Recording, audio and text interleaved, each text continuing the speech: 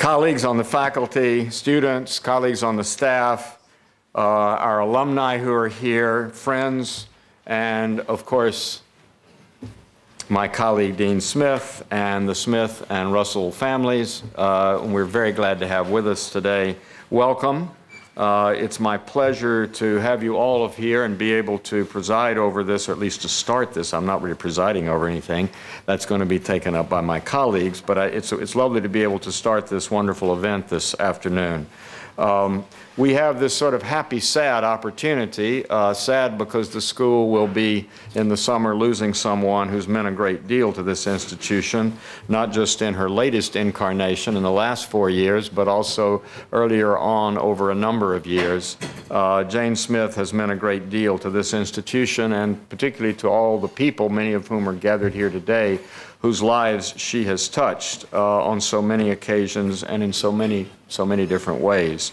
Uh, we are able to celebrate her, uh, her time here, her times here, uh, and all that she has done with, I think, a wonderful event today. I can think of no way she would probably prefer to have her career here celebrated uh, than with a panel discussion, and specifically a panel discussion on Muslims, Christians, and interfaith dialogue, a title you may have noticed very close to the title of one of her own books.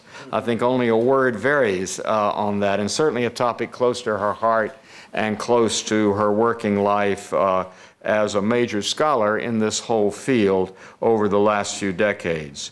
Uh, this has been at the center, I think, of her career in many ways, our topic today, uh, and I think it's therefore particularly fitting to have that uh, as, as the focus uh, for our tribute to Jane uh, which we as a school and the Center for the Study of World Religions, the other institution within and without the school, that sort of what Wilfred Smith used to call the tertium quid, uh, that sort of floats uh, here next to the center and has become really the cutting edge for us of many of the things that are going on in the school in the last decade. Uh, and under the leadership of Frank Clooney, who will be speaking to you in just a moment, um, has, I think, uh, carried on the tradition that began uh, over 50 years ago uh, with, with a, a, new initiative here at Harvard and at the Divinity School. Uh, those of us that have been associated with it and with the Divinity School know that the two, in many ways, are now indissolubly linked in a way that I think will go on for a long time. Let me thank, uh, while I'm here at the outset, because these things often get shuffled off to the end of every event, and I want to be sure that, in fact, it's up front. I'd like to thank the planning committee who actually put today's program together. Uh, Jane's colleagues and friends, uh, Professor Susan Abraham here on my left, whom you'll hear from as moderator of the panel, Pat Byrne, our uh, executive dean, Karen Gruentler Whitaker, our assistant, our assistant academic dean, uh, Gina Lee, and Matthew Turner, also uh, associates in the dean's office and in academic affairs, and Suzanne Rahm, who is the real person who really runs this institution, if you didn't know that uh, already, and uh, with, without whom we couldn't survive. Uh, so it's great that all of you did so much work for this and have made this event possible, and I, I want to thank you now. Um, I'm going to say just a few words here in a moment, uh, but uh, let me just tell you how we're going to proceed. Our Parkman professor, Frank Clooney, director of the center, as I said, will be speaking and then turn it over to Susan Abraham, who is associate director of the CSWR as well as assistant professor of ministry studies here. She will introduce the panelists and moderate our discussion. After each panelist has spoken about their work and the topic today, the panelists will have responses, and then we'll open up for questions and I hope some answers uh, from the panelists.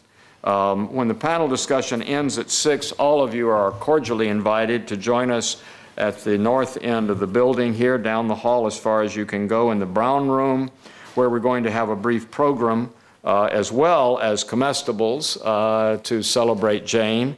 Uh, and so that will be uh, from 6 to 7 in the Brown Room. We will try to end uh, promptly at 6 so that we can move to the food and drink. So uh, I welcome you all and hope you'll join us for that.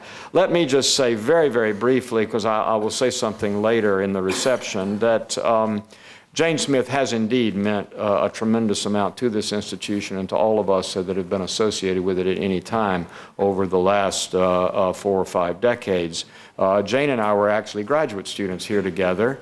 Uh, I got to know her better once I shifted, saw the light, and shifted from Sanskrit and Indian studies to Islamic and Arabic studies, which she had already been doing for some time. And uh, I've benefited uh, over many years uh, from Jane's work uh, and the paths that she has blazed in areas that I've not dared to go into. I think anyone willing to work on contemporary issues uh, on Islam, whether in America or anywhere in the world, is much braver than I am. As a, as a, as a firm medievalist, I try not to get uh, into these areas, but I've admired certainly the work she has done over many, many years. But just a word about her, uh, about her work here. She uh, actually served as associate dean here, having uh, also been a professor here in the 1970s. She served from about 1980 to 1986 when George Rupp was dean. And as she pointed out to me just a few minutes ago, she left when George left too, and I guess she and I are going to be leaving together too. So, um, uh, but the nice thing is that I don't think any skeletons were left in the closet. Uh, at least we didn't know of any. And when I looked around and needed a fine scholar and someone with great administrative experience, and Jane had certainly had that with some 10 years uh, as uh, the, uh, what do they call it, Jane, the president or vice chancellor? What is it? They have a term at Iliff. The dean, okay, dean. I know there was another title along with that. She at least was dean at Iliff Seminary in Colorado, uh, which I'm sure all of you know. You don't have to be Methodist to know about Iliff. Uh, so Jane was a seasoned person who was willing to come in, to come up from Hartford, where she had gone back to. That's where she had also done her original Bachelor of Divinity Studies, uh, and then uh, where she served as professor and director of the Duncan Black Macdonald Center uh, there, and was willing to abandon that, although she hasn't abandoned her residence there, uh, but willing to come up uh, uh, part-time, which turned into be a bit more than part-time, I think, a lot of the time, the last four years, to really make a difference for us with our faculty and our students here as our academic dean. so I think that's enough said. One could go on with her long list of books. One could do the normal introduction. Maybe others will do that. I simply want to speak to her as a friend and longtime colleague and someone who has benefited immensely from so many things that you've done, Jane, and say thank you and celebrate with us this wonderful occasion. Thank you.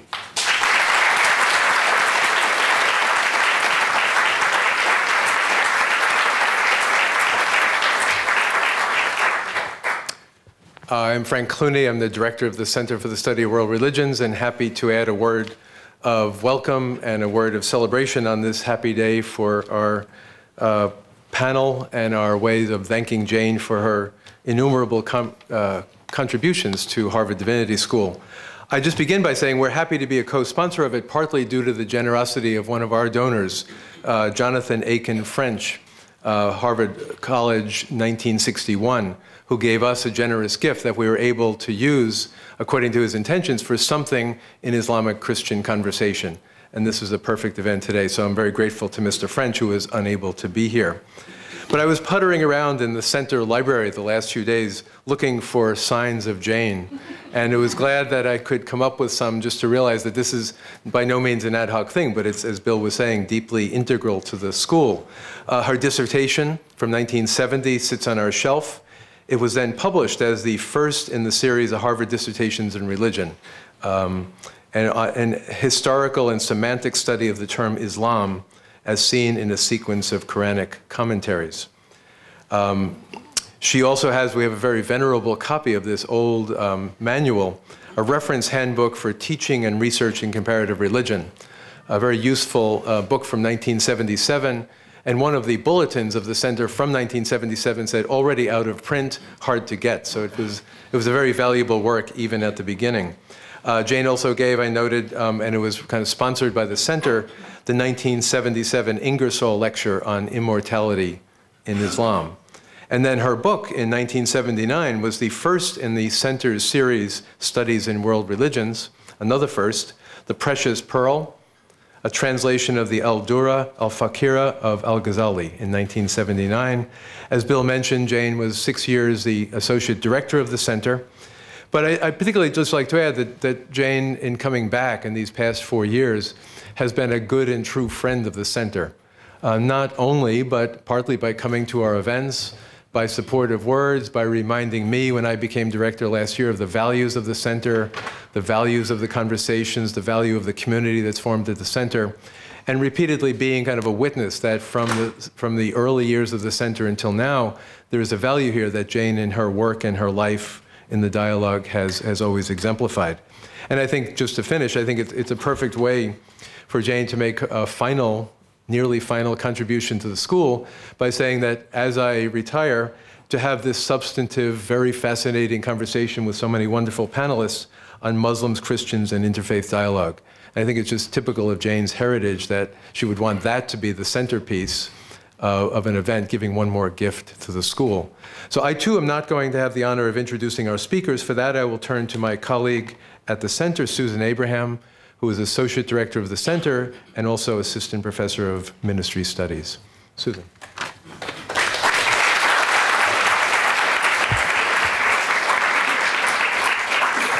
Thank you, Professor Clooney and Dean Graham. Uh, I do remember when the planning committee first broached the idea of an event to Jane, she very sternly told us, do not make a big deal of this. And I'm mostly obedient to Jane in particular.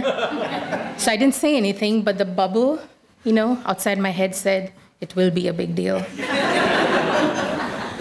so, in view of that big deal, it is my distinct honor to introduce a very spectacular panel and panelists to you. I will introduce all of them, and they will speak in turn. We first will hear from Professor Ingrid Mattson. Professor Mattson is director of the Macdonald Center for the Study of Islam and Christian Muslim Relations and founder of the Islamic Chaplaincy Program at Hartford Seminary. She earned her PhD in Islamic Studies from the University of Chicago in 1999. Her research is fo focused on Islamic ethics and law, religious leadership, and the Quran. Her book, The Story of the Quran its history and place in Muslim life has become a widely used textbook on the Islamic sacred text. She's also associate editor of the Muslim World Journal. Professor Mattson completed her second term as president of ISNA, the Islamic Society of North America, in 2010, after serving two terms as vice president, having been the first woman to serve in either position. She's a senior fellow of the Royal Aal al-Bayt Institute for Islamic Thought in Amman, Jordan. From 2009 to 2010, uh, Professor Mattson was a member of the Interfaith Task Force of the White House Office of Faith Based and Neighborhood Partnerships. In 2008, she served on the Council of Global Leaders of the C100 of the World Economic Forum. From 2007 to 2008, she was a member of the leadership group of the US Muslim Engagement. From 1987 to 1988, she lived in Pakistan, where she developed and implemented a midwife training program for Afghan refugee women. We welcome you, Professor Mattson. Our next speaker will be Professor Amir Hussain, who is Professor of Theological Studies at Loyola Marymount University in Los Angeles. His specialty is the study of contemporary Islam in North America. His academic degrees are all from the University of Toronto, where he received several awards, including the university's highest award for alumni service. He's editor of JAR, or the Journal of the American Academy of Religion, is on the editorial boards of four scholarly journals, including the Journal of Religion, Conflict and Peace, Contemporary Islam, Dynamics of Muslim Life, the Ethiopian Journal of Religious Studies, and Comparative Islamic Studies. He is an active participant in the Canadian Society for the Study of Religion and the American Academy of Religion. In 2008, he was appointed a fellow of the LA Institute of the Humanities. Prior to his appointment at Loyola Marymount University, Professor Hussain taught at California State University, Northridge from 1997 to 2005.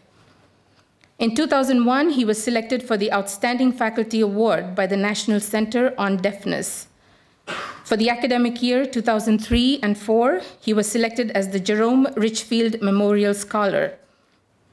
In both 2008 and 2009, Professor Hussain was chosen by vote of LMU students as the Professor of the Year. He's editor for the third edition of World Religions, Western Traditions, a textbook published by Oxford University Press in 2010.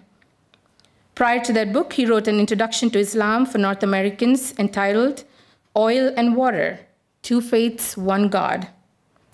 Since 2005, Professor Hussain has written over 25 book chapters and scholarly articles about Islam and Muslims. Welcome, Professor Hussain. Our next speaker is Professor Daniel Madigan. Daniel Madigan is an Australian Jesuit priest who joined Georgetown's Department of Theology in 2008. He is Jeanette and Otto Ruesch Family Associate Professor and Director of Graduate Studies.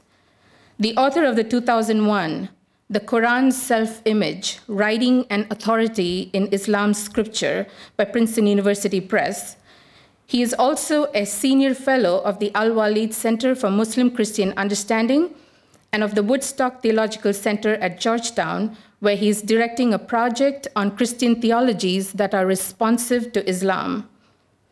Professor Madigan is also honorary professorial fellow of the Australian Catholic University's Asia Pacific Center for Interreligious Dialogue. Before moving to Georgetown, he taught in Rome from 2000 to 2007, where he was the founder and director of the Institute for the Study of Religions and Cultures at the Pontifical Gregorian University from 2002 to 2007. His main fields of teaching and research are Quranic studies, interreligious dialogue, and particularly Muslim Christian relations. He has also taught as a visiting professor at Columbia University, Ankara University, Boston College, and Central European University. Welcome, Professor Madigan. And finally, anchoring our panel is Professor Miroslav Volf, who is Henry B. Wright Professor of Systematic Theology and the founding director of the Center for Faith and Culture at Yale Divinity School. His books include Allah, A Christian Response in 2011, Free of Charge, Giving and Forgiving in a Culture Stripped of Grace in 2006, which was the Archbishop of uh, Canterbury's Lenten book for 2006, and Exclusion and Embrace, a theological exploration of identity, otherness, and reconciliation in 1996, which was the winner of the 2002 Gray, Way Award. And finally, After Our Likeness, the Church as the Image of the Trinity in 1998, winner of the Christianity Today Book Award. A member of the Episcopal Church in the USA and the Evangelical Church in Croatia, Professor Volf has been involved in international and ecumenical dialogues. Example, with the Vatican's Pontifical Council for Promoting Christian Unity and interfaith dialogues. He is an active participant in the Global Agenda Council on the Values of the World Economic Forum. A native of Croatia, he, he regularly teaches and lectures in Central and Eastern Europe, Asia, and across North America. Professor Volf, welcome to HDS. And thank you very much to all the panelists.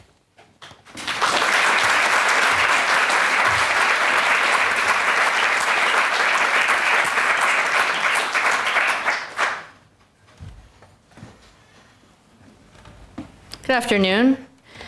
I'm speaking from up here because, as you know, this university has Protestant roots, so the chairs are very uncomfortable. and uh, but fortunately, I had a good Catholic sitting beside me who lent me his watch since I didn't know where mine went. And we'll, we'll, we'll see how this works out for me, Dan. Maybe I'll ask you in an act of charity to just leave it with me for, the, for later. Um, you know, we each have 10 minutes, which is a very short amount of time, and I had prepared some some more academic remarks, but what the heck, I'm here and I, I see Jane in front of me, and so I feel moved to make them a little bit more personal. Um, when else am I going to have the time to, uh, let's use another good Protestant term, testify, right, about um, my experiences with Jane. But really, uh, I'm putting my experience in the context of the subject I wanted to talk about, which is um, the increasing role of Muslims in American Muslims in Christian Muslim dialogue, um, especially in seminaries and uh, divinity schools. the theology departments in the United States. I was, um, my degree, as a short form, I say Islamic studies, but my degree is actually in Near Eastern languages and civilizations at the University of Chicago. Um, for those of you who know the history of Islamic studies or teaching about Islam in this country, that means that uh, I studied in a department that didn't care very much about religion. Uh, in fact, either religion as a phenomenon, religion as it's practiced, religion as a you know important aspect of human life. It's not something that area studies cares very much about. Now that didn't bother me because I was particularly interested in getting skills, gaining linguistic skills, skills in textual analysis, uh, historical analysis, and I had my my own sources to find you know different methodological approaches to what I was looking at, and I had my own spiritual and religious life. But when I arrived at Hartford Seminary, um, I had to go through de- deprogramming for about two years. Um, from that experience, the experience of a secular university with an area studies program where Islam was, you know, taught in this particular way, to a place like Hartford Seminary where um, where religion was taken seriously, religious faith, religious practice, religious belief was, was taken seriously, was considered not only an important aspect of human life to study, but uh, was not considered something um, that uh, should be destroyed through the educational process. And um, it was all very new to me, and, and it was Jane Smith who really helped orient my way into this new world. She was director uh, of the Macdonald Center at that time. And I came in with my area studies background and started to slowly relax um, after all those years at University of Chicago and realized that I didn't have to censor myself, um, not use a word like God in uh, public, you know, public conversation, uh, that these things were, were per permitted. And the thing that um, really struck me was that although this was all new to me, it certainly wasn't new to Jane. She'd been working in this area for a long time, and I started to realize how much of a life, not only of not only of scholarship, but a life of and a sector of religious engagement in American academia had really been concealed in many ways from those of us uh, who were in programs like mine. Uh, why was that? You know, why was there that level of concealment? Um, and I think we could spend a long time looking at that. But I think when when Muslims think about uh, Islamic studies in the United States, two words come to mind: either Orientalism or missions. Um, we identify Orientalism as the ideological tradition of the secular universities, like those, uh, the University of Chicago, where I was, and, and those kind of area studies departments. And mission is the context that we identify um, as the setting for the study of Islam in seminaries uh, and theological schools. That means that Muslims come to these questions very often with a great deal of um, skepticism, caution, um, concern, uh, because in all of these cases, these are not uh, institutions that Muslims themselves have founded. They usually also have not had uh, much of a role in, in developing even the current academic programs. Um, and so coming into that situation, there is a great deal of caution. And this is why the issue of motivation comes into play, whether fairly or unfairly. Motivation or in Islamic, you know, lingo, intention, right? What are the intentions of the people who are studying Islam in these institutions? And whether that is fair or unfair, that that's a question in the background. Um, I think it shows why the personalities who are involved in this study really make a difference and why uh, Jane Smith I could see was able to get her students, her Muslim students, whether they were from the United States or Turkey or other places in the world, to relax quite quickly. Relax in the sense of feeling that they were now in a place where they could be themselves, where they weren't threatened, where they weren't in a hostile environment that was out to, you know, destroy their faith.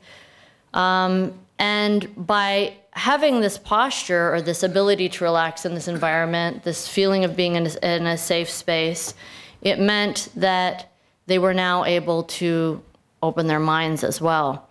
And uh, I never told you this, Jane, but I remember after I was, uh, I'd been teaching for a few years at the seminary. It was quite funny because, of course, I'd gone from this feeling of real anxiety and in this kind of hostile environment to getting quite relaxed at Hartford Seminary. In fact, it was quite good when I came in because we were in a state of administrative anarchy for the first three years. Um, so that's how we were able to kind of slip the Islamic chaplaincy program in very quickly because there was pretty much no one, no one uh, uh, above us deciding that this may or may not be something that was very good for the seminary. So that was, that was terrific, and I had the support of my colleagues, Ibrahim Abu Rabia, may God have mercy on his soul, and, uh, and Jane, who were co-directors of the Macdonald Center, to develop this program. But I remember um, I, had, I had, after being there for, for a little while, I had this very funny dream where Jane came up to me and she said, she said, she said, Ingrid, don't lose your critical edge. So it was this, I figured. So I remember that until now. I said, okay, all right. So, uh, so and, and of course, Muslims, we believe that dreams are part prophecy. So I knew that I had to take this seriously.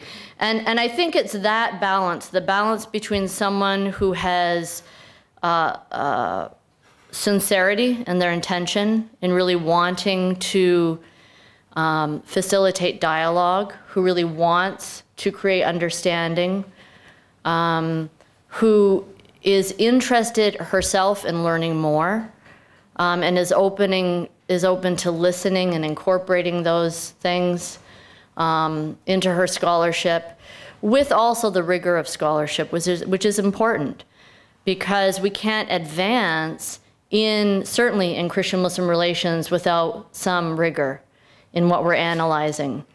One of the things that we see in terms of, and I'll, I'll finish up with this, it's quite interesting. I mean, obviously, there have been some Muslims involved in Christian Muslim dialogue for a long time. People like Sayyid Hussein Nasr at a very deep level, um, Ismail al Faruqi. Uh, and here we have kind of two sides of contemporary Islamic um, thought the perennialists, um, those who are focused more on, on spirituality, um, the universality of religions to some extent uh, in their particularity, and then those who, like Faruqi, at, especially at his time, was more interested in sort of politics and society and religion and, and politics. But the generation of Muslims who are coming into this area, Christian Muslim relations in particular right now, mostly come from a an activist kind of background. They're the kids who were involved in community work and community outreach. They also have that academic orientation, but they're really focused on getting something done. You know, they want to solve problems. They want to um, engage with the other in a very positive way. They're not particularly interested in looking at you know, sort of uh, uh, eternal the themes of spirituality and theology. There are those scholars, but I would say most of the Muslims in America and in, in other communities as well who come to places like Hartford Seminary and other institutions here are very interested in doing things. Now that's very good. And I remember, Jane, one time you said to me that one of your favorite verses of the Quran for interfaith dialogue is fastabikul khairat. So compete with each other in good works. Yet, we also have to, and if we're going to do those good works, we really need to take the time to study what the situation is, what it is now, what it has been historically, what are the barriers to that participation, because no one goes ahead in this work a few steps without encountering a big ideological barrier that's put in your way by one or another um, members of, of various communities. So that ability to take to both encourage engagement, but also at the same time um, work very gently, lovingly, carefully, but honestly on analyzing the real problems is something that is so critical to the future of this dialogue and something that I, I learned from Jane Smith. So thank you, Jane.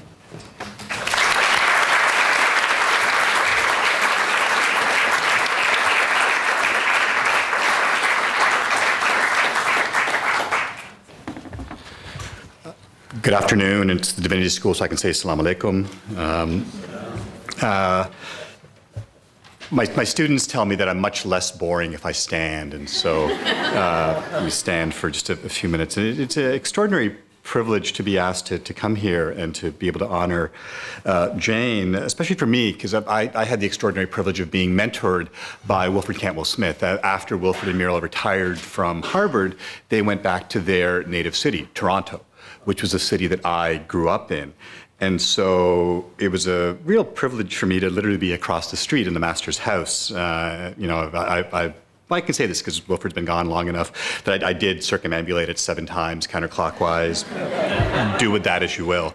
Um, and I, I can't remember actually if it was Wilfred that first uh, mentioned Jane's work to me or another of my uh, mentors, Jane McAuliffe. Uh, and it's really kind of funny to think that, you know, here I have Wilfred Smith and Jane McAuliffe, both of them introduced me to Jane Smith uh, in, in very different kinds of ways. That uh, Jane was the second reader of my dissertation and she was the one that really sort of shaped it because I originally wanted to write on Muslim Christian dialogue, meaning some of the earliest encounters, looking at, you know, when Islam comes into the world, who are the Christians that uh, they encounter, what, what's the contact points. And Jane was, you know, what every dissertation advisor should be, just absolutely brutally honest and said, this is a great dissertation, except it'll take you a couple of years to, your Arabic's not bad, but you have to work in Syriac, so it'll take you a couple of years to learn the Syriac. Then you have to go there and make nice with the monks because most of these things are in monasteries and the monks won't give them up without, you know, personal connection. So you have to spend a couple years making nice. Then you actually get the manuscripts and you'll translate them. That'll take a couple of years. then you can start to do your work. So this will add about seven years to your dissertation. You know, this is the uh, late 1980s, 88, 80, 89, 90. Um, she said, or you could do something on Islam in Canada, because there really isn't a lot on Islam in Canada. I'm like, oh, a dissertation that'll take seven less years. I'll go with that one, you know.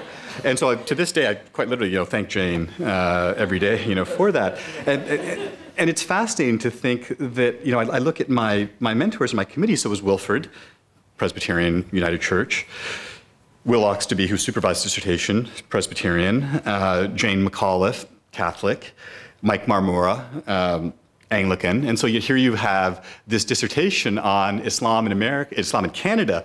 And it's actually, I want to thank you, by the way, for inviting two Canadian Muslims, because who better to talk about Islam in America than Canadians, uh, Ingrid and I.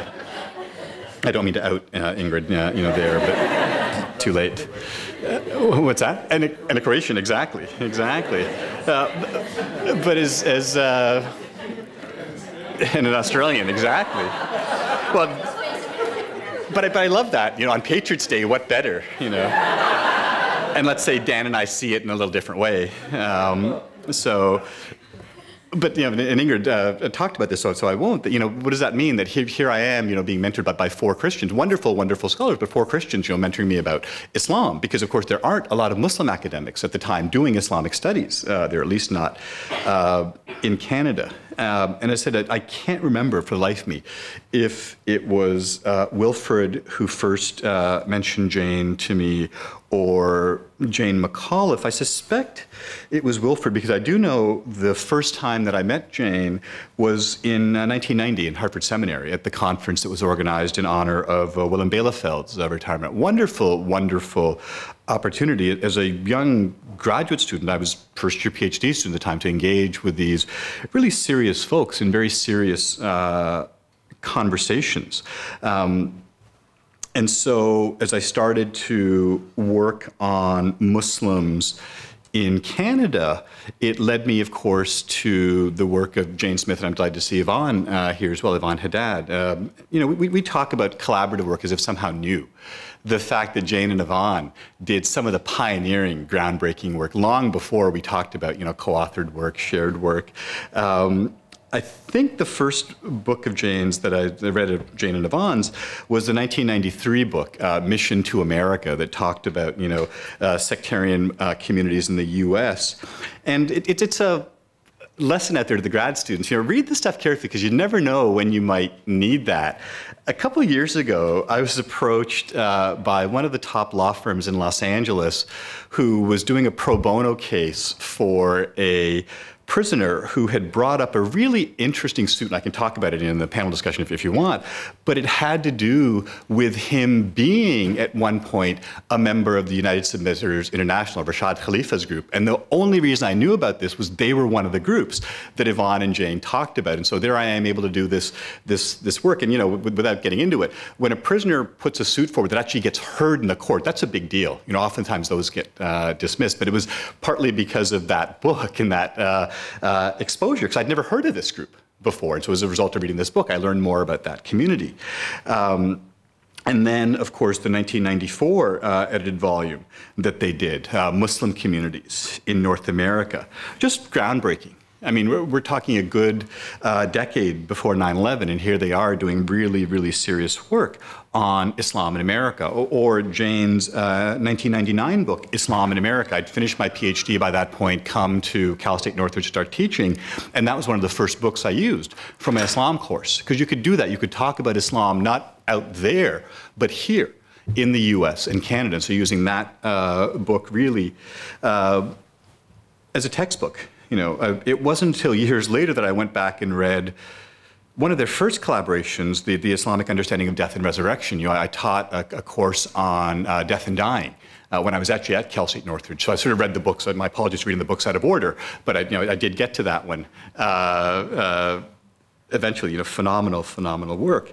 Um, and so for me, it's really talking about Jane in terms of the pioneering work that she's done you know, on Islam in America. I know uh, Dan will talk about interfaith dialogue, Muslim-Christian dialogue, so I don't want to uh, tread on that, but it was really interesting to think. I think, Jane, the last time I saw you would have been in Pittsburgh last year for the ATS, the Associated Theological Schools, uh, doing this really interesting thing about mission and, and hosting. You know, what does it mean to invite and host and be hospitable to non-Christian students in Christian uh, institutions? And it was a delight to, to be with Jane uh, there. And so I think there are many things to thank uh, Jane for, so let me just pick two. First, for her pioneering work on Islam and Muslims in America. And secondly, for her work that Dan will talk about on Muslim Christian dialogue, and, and also for helping Muslims, this Muslim in particular, to become part of that conversation. So as Ingrid said, it's not just simply, you know, Christians talking to other Christians about Muslims. It's Christians and Muslims talking with each other about Muslims. And so I just want to thank you, Jane, for all the work you've done. Thank you.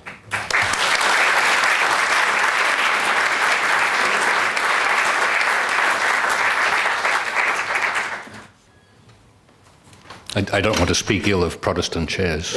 uh, and I'm boring whether I'm standing up or not. So.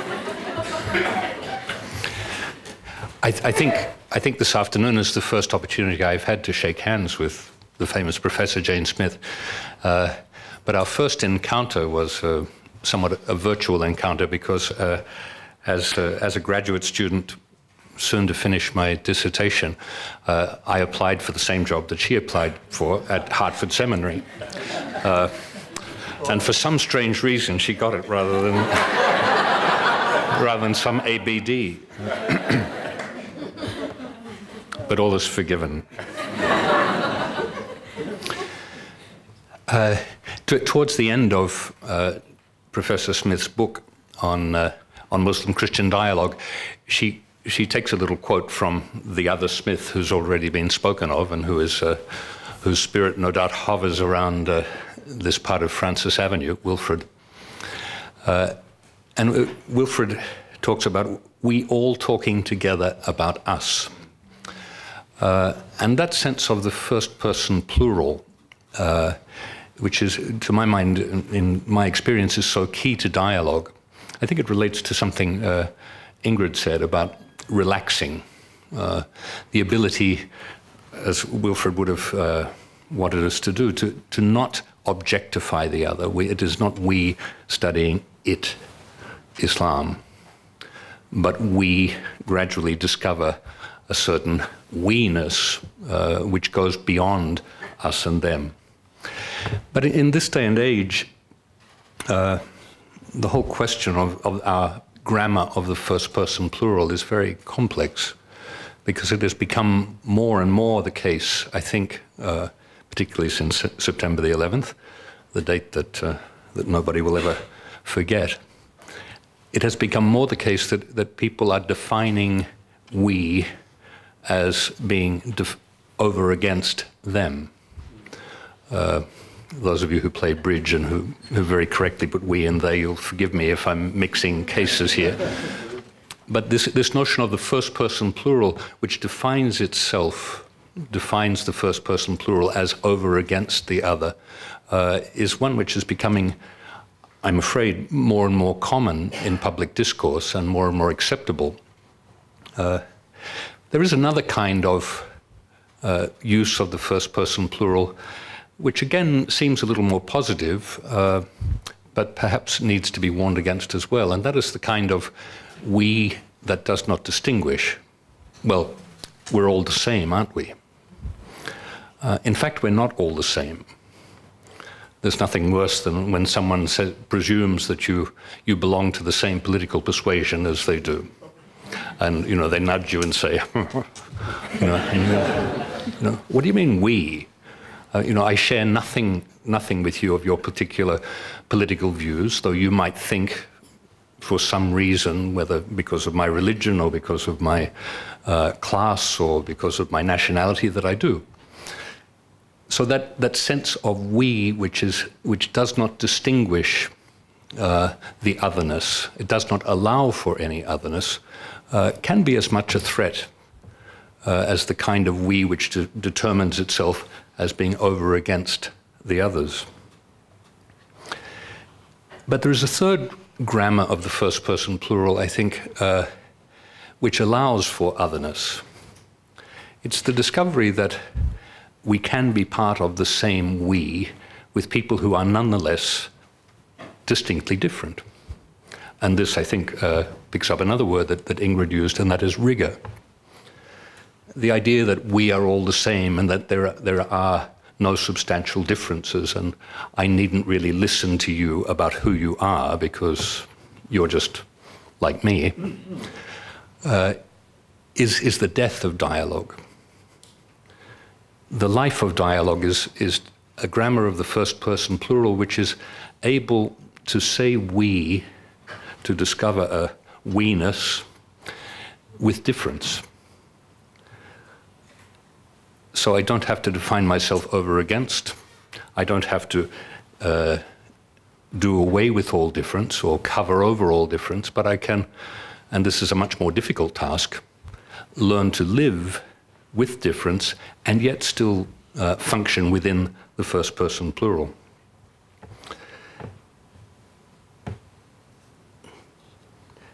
The, the we-ness that, uh, the Wilfred Smith was talking about uh, in that article that Jane cited in, at the end of her book was against the objectification of the other, and he talked about uh, Muslims and Hindus and Buddhists and atheists and so on.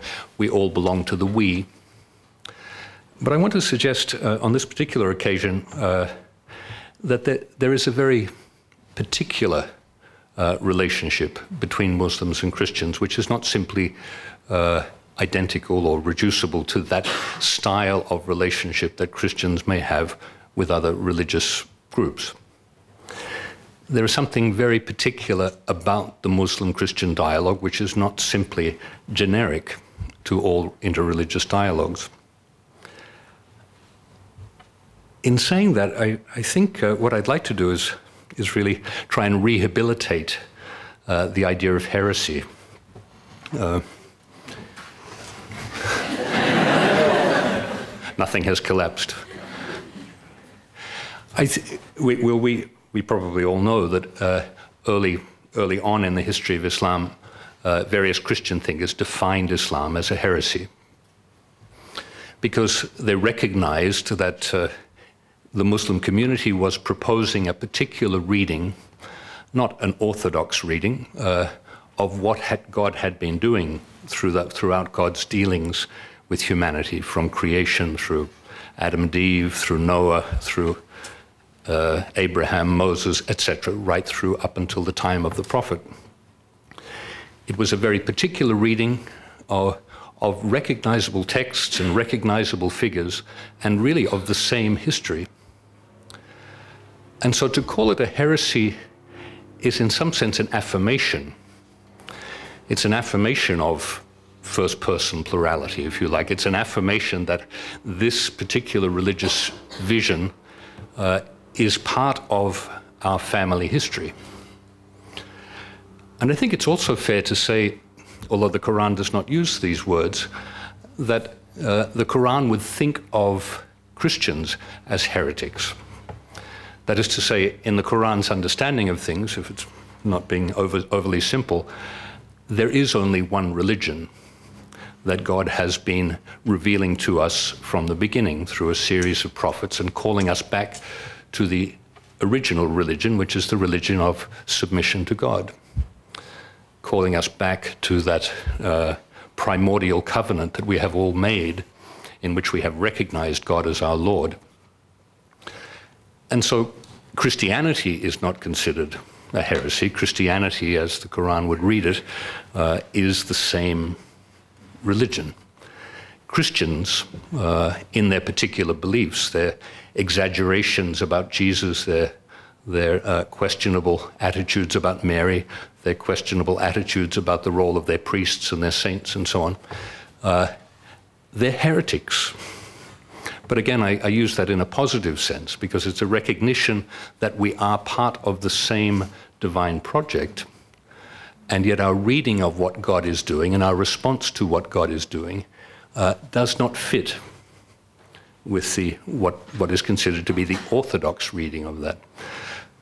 So, our first person plural relationship, the we that is about Muslims and Christians, is. Uh, historically based on the notion of a mutual definition as heretics, which, uh, as I say, I, would like to rehabilitate that because I, I think uh, there's something positive about it.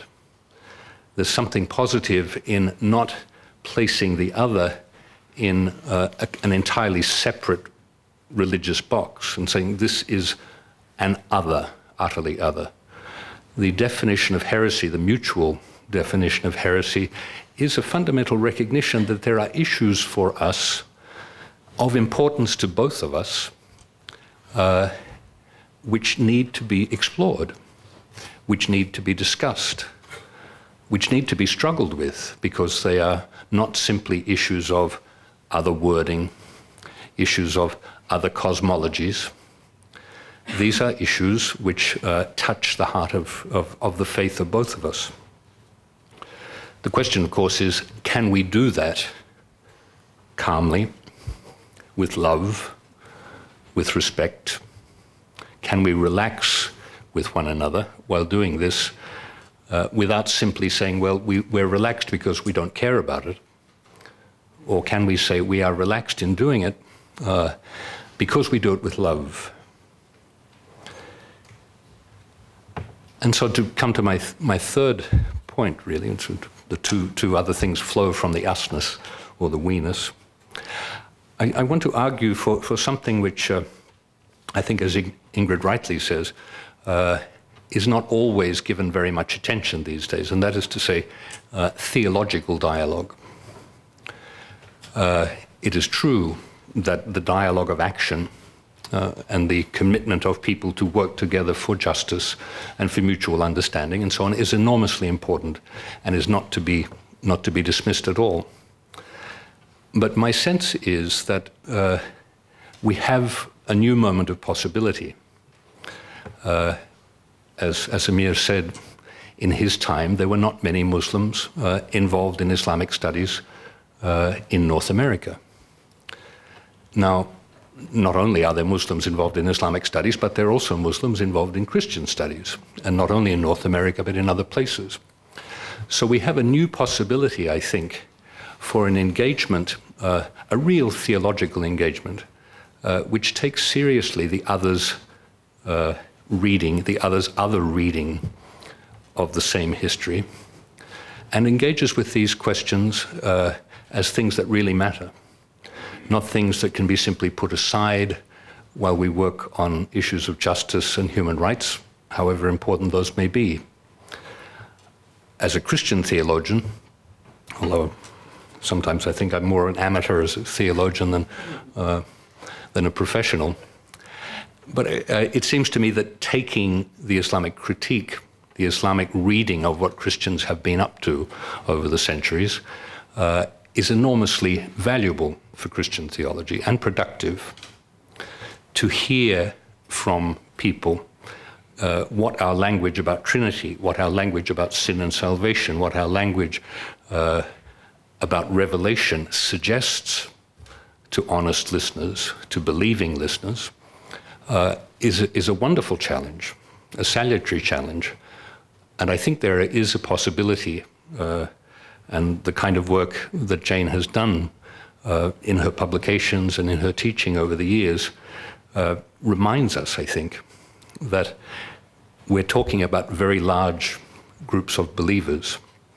And to be able to come together uh, and struggle over these questions, which are so important to both of us the unity of God, God's saving of us, God's reaching out to us in revelation. Uh, there is nothing more important than that, I think, for us as theologians. So I, I leave you with those three thoughts. A first person plural uh, discourse, which does not dismiss otherness nor gloss over it. Uh, oh, sorry, I didn't get to the third. yeah. yeah. Um, the second was theological, but the third, the third one, and I'm going to be very brief now. Too, too often in, in what we have been doing, uh, even in our, our finding a, uh, a first-person plural discourse together, is uh, I, I, go back to the 60s book, I'm okay, you're okay. You remember that? Plenty of people here are old enough to remember I'm okay, you're okay. Uh, we, we have this discourse of uh, I'm okay, or we're okay, Christians are okay, they're not okay, the Muslims. Or on the Muslim side, the same thing, we're okay, the Christians are not okay. Uh, I think uh, one of the things we have to be able to, to move towards is to be able to say, none of us is actually okay. Uh, we have a dialogue of mutual repentance yet uh, to undertake seriously. And in our goodwill, very often we, we gloss over uh, our mutual failings. We try to be defensive, or we, because we're working in, in an Islamophobic environment, we, we, we reduce things. Muslims, uh, when, when, they're in minority situations, feel it's, it's difficult to, to acknowledge weakness. Christians, when they're in a minority situation, feel it's difficult. This will be the real test of the truth of our dialogue. I think when we can tell the truth about our histories to one another without fear uh, and admit that neither of us is okay, but with the grace of God, all will be. Thank you.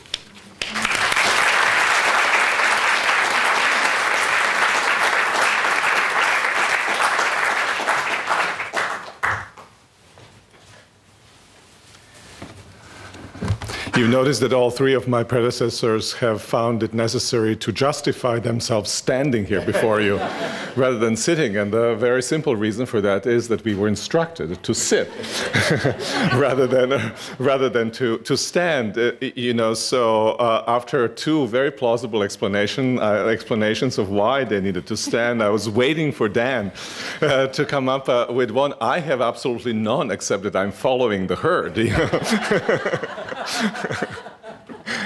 um, I'm, I'm uh, delighted to be here, and uh, I, I, had to follow the herd because I'm uh, the, the kind of odd person out here.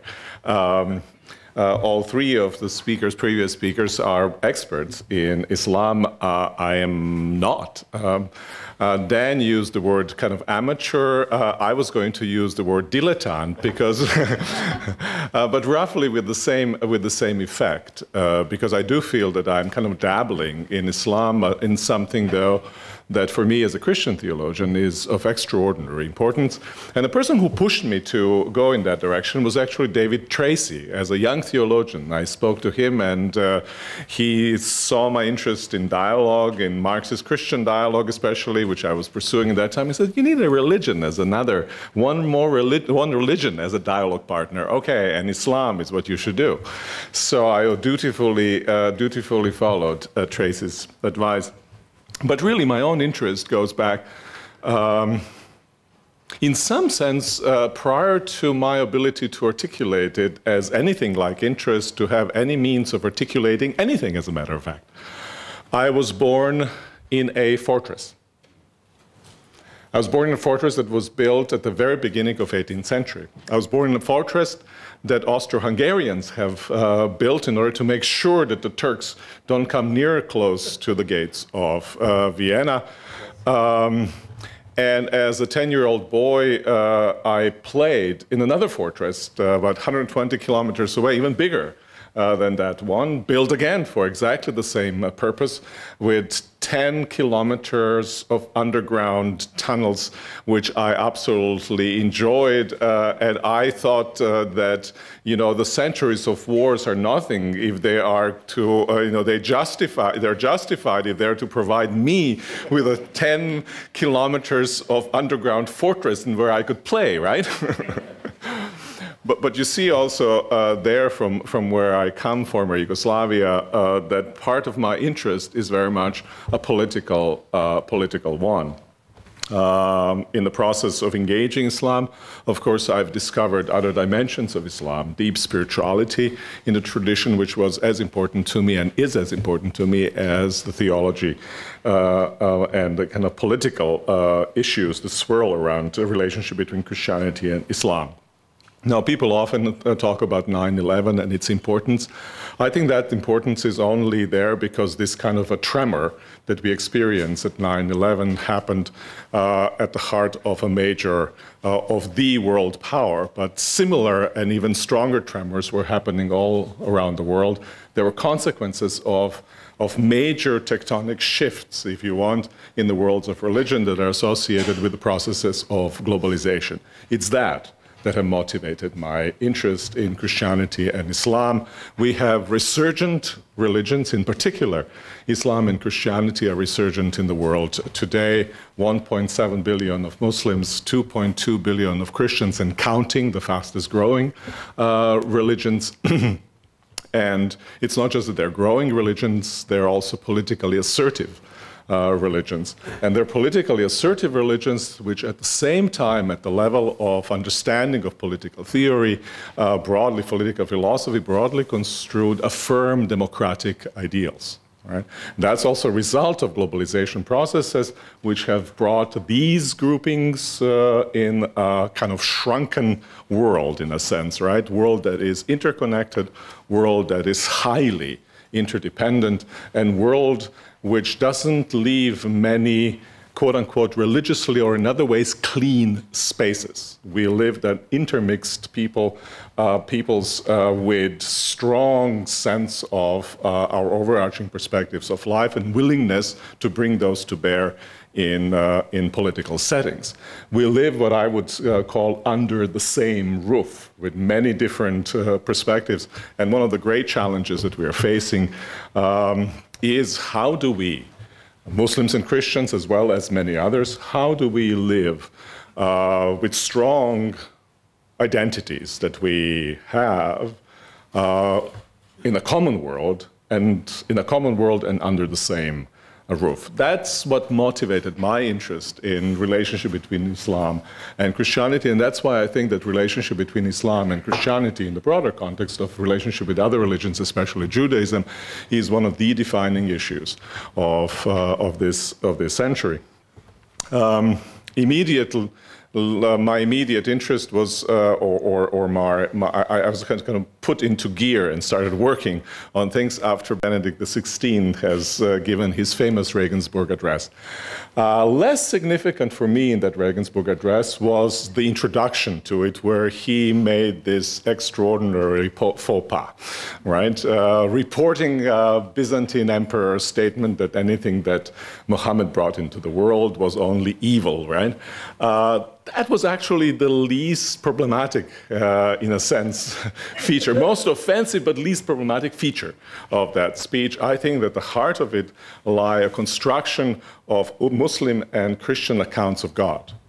Uh, Christian God is a God of reason, uh, and therefore uh, undergirds uh, and funds and legitimizes reasonable interchanges between people. Muslim God is a God of sheer will, and therefore is the foundation of a totalitarian forms of religious, religious rule.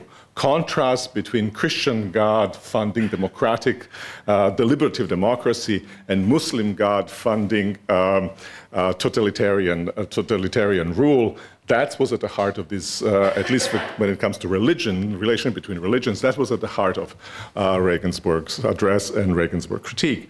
And for me, that brought into focus the importance of the question of God. And here I go back to what Dan has mentioned the importance of the theological dialogue and the importance of the question of God. I raised this issue for myself as a political issue, as an exercise in political theology. And my question uh, in the book that was mentioned, uh, Allah, Christian response, was a very sim simple one Do Muslims and Christians believe, worship, have the same God. There's a group of folks who, when I formulate uh, the question this way, say, so you would write 300 pages in order to answer uh, what seems to be an obvious answer to this question? Of course they do. And there is kind of equal number of folks who say exactly the same thing, 300 pages to write about something that's so obviously false that we don't even need to want to open your book in order to read to find out what you think about it. Um, and in many ways, uh, especially the latter group, was the experience that I've had in many, in many circles, which to me, um, uh, many more conservative circles, which to me, me underscores the importance of that, of that book. And the importance of the book is that in the, or, or importance of the issue, let me put it this way, the importance of the issue, because in our fundamental convictions about God are enshrined our fundamental values. Can we live under the same roof translates into question do we have sufficiently overarching fundamental values uh, which can be the basis so we can negotiate our profound differences. And the differences between varieties of Christianities and varieties of Islam are profound, and they need to be negotiated. Uh, they need to be negotiated peacefully. We can negotiate them only if there is a kind of bedrock of sufficiently overlapping values so that we can engage in dialogue rather than engage in uh, one or the other forms of violence. That was the issue, how, that was how the issue was formulated itself to Nicholas of Cusa um, after the fall of Constantinople. It was a question crusade or conversation right? And in many ways, uh, this form of question has to be posed for us. Again, uh, will it be crusade, one form or the other, or conversation? If it, if it is going to be a conversation, what needs to be there as condition of possibility, both at the level of our convictions and also at the level of institutions, for that conversation to be successful? Thank you very much.